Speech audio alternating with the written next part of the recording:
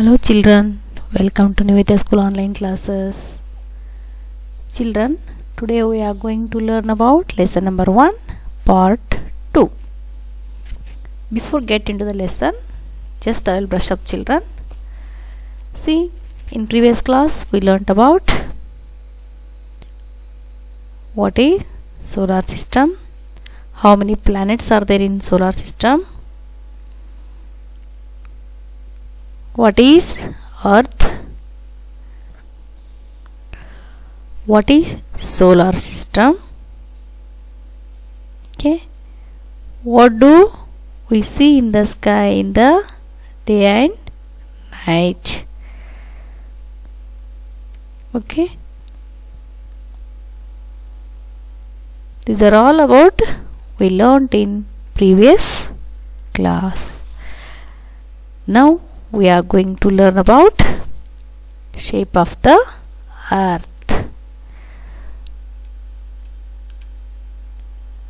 Yes children already we learnt about the earth. Now we are going to learn about the shape of the earth.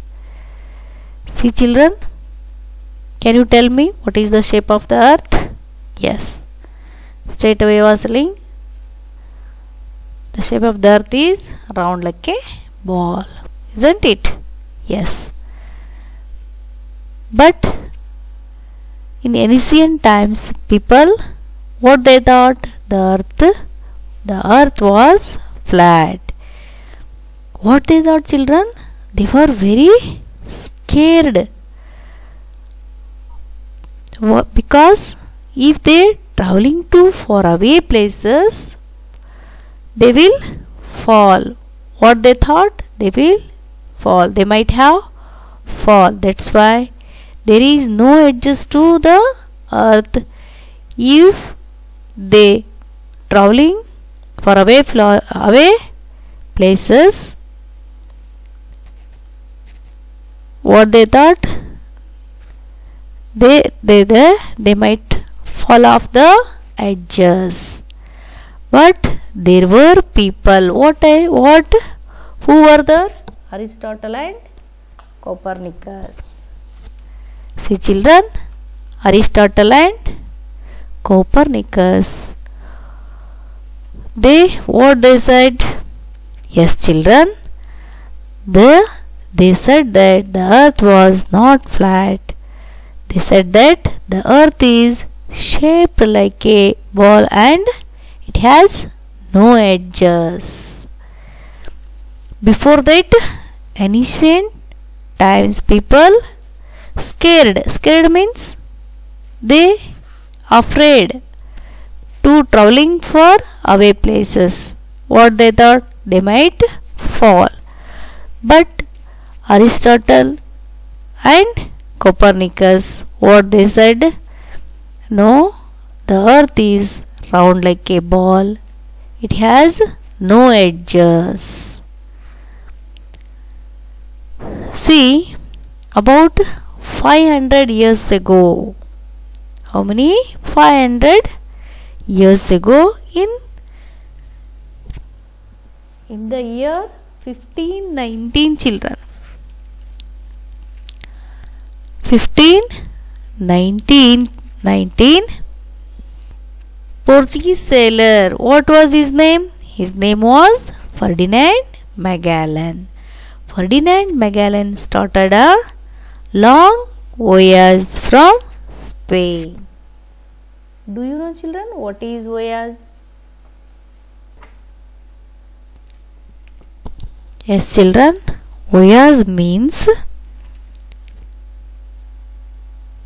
a long journey involving travel by sea or in a space uh, Ferdinand Magellan what he did he started long voyage from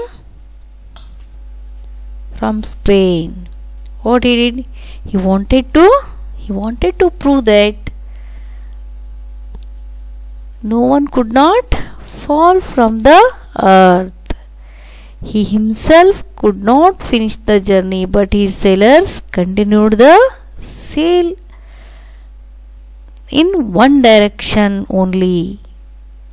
to their surprise, after three long years of sailing, they reached the place where they started their voyage.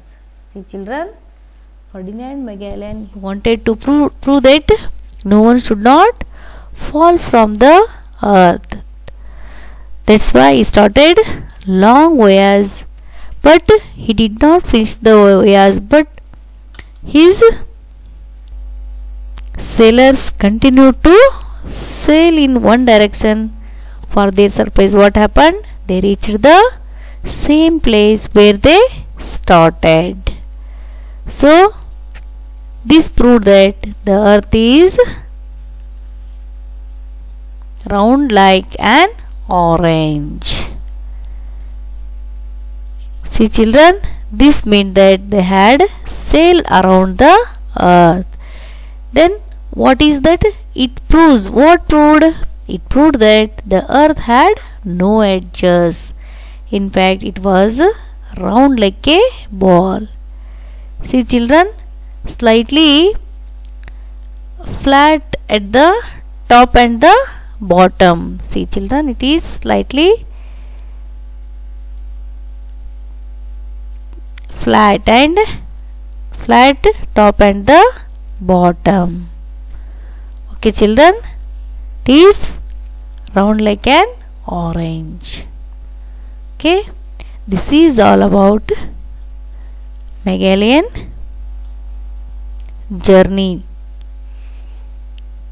okay once again i'll revise children about 500 years ago means in 1519 portuguese sailor named ferdinand magellan started voyage with his sailors. After 3 years they reached the same place where they started. But magellan did not complete his voyage but his sailors completed the voyage. They reached the same place where they started. This proved that the earth is round like a ball. It is not flat. Okay children? Yes. Next we will study about that land horizon. See children what are these? These are all the top tall buildings. What are these children? These are the tall buildings children. See if we stand on on the top of this building we can see the earth the earth and the sky meeting. You can observe here earth and the sky meeting there. It is called land horizon what are these? These are the tall buildings. If we stand on the this building if uh, if we stand on the building we can see that the land and the sky meeting. But is it possible children? No.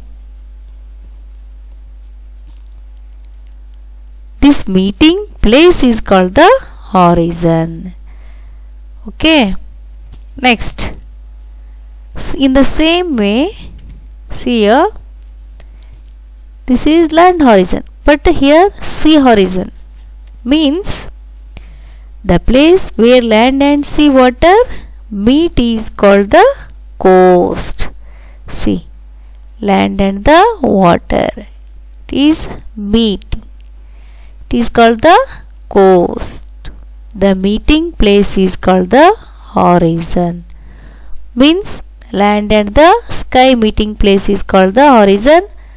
Water and the sky meeting place is called the coast. Understood children? This is all about your first lesson the earth our home. Okay children? See once I'll show you the place where land and the sea water meet is called the coast you can observe here okay next quick recap how many planets are there? There are 8 planets. The earth is the home of all living things. All living things what they need? Air, water to live, isn't it? Aristotle and Copernicus said that the earth is shaped like a ball and has no edges. Magellan also proved that the earth had no edges. Okay children, then we learnt about land horizon and sea horizon also. Okay children, thank you.